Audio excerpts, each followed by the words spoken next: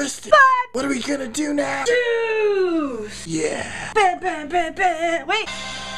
Ingredients for this disgusting green juice. Kale. That's it? Wanna put more in? No. Ginger.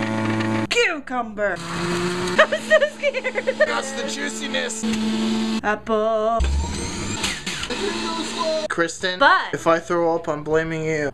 Weird. Not bad. Just weird. Tastes like ginger.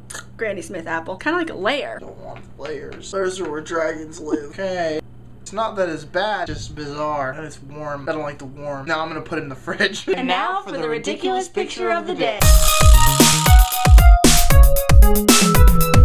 You're welcome, Internet.